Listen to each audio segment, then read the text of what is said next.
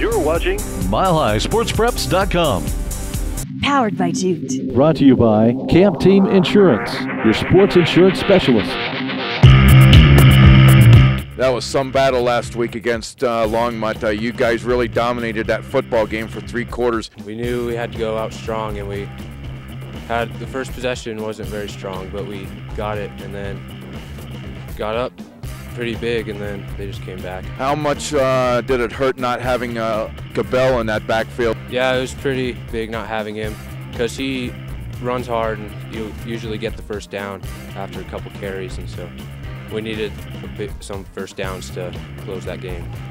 Sure, you're uh, looking forward to getting a big win and hopefully get the second half of the season turned around.